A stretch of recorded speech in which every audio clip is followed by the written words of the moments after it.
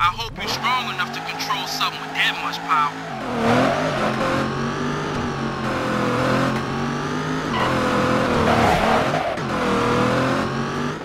You've taken this joker out before. Let's see you do it again.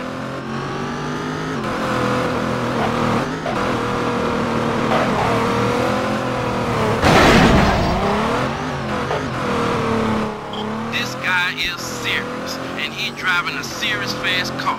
Never mess with a dude in a Saleen.